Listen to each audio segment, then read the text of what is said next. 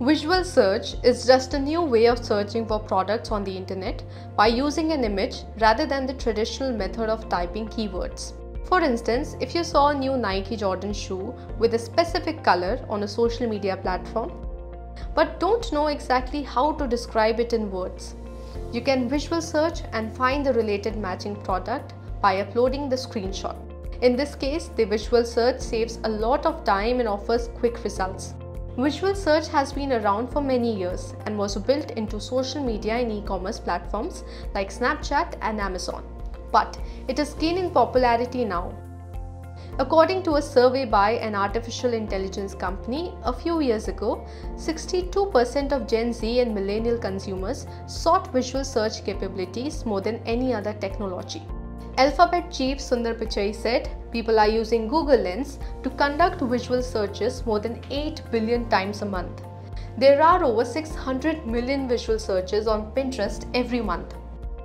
A successful visual search engine requires machines to not only detect but also recognize specific objects in the image to understand what the customers actually wants. And this is where the power of artificial intelligence and machine learning helps. This technology is mostly employed by e-commerce players to improve the shopping experience of consumers. In India, Flipkart and Meesho have employed visual search technology for categories such as fashion, jewelry, home decor, and beauty products.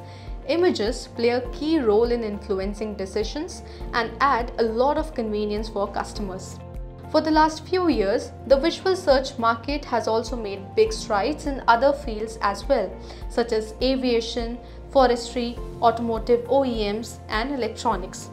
There are also use cases in security screening, baggage scanning, and navigation systems. The global visual search market is projected to surpass $14,727 million by 2023, growing at a compounded annual growth rate of 9%.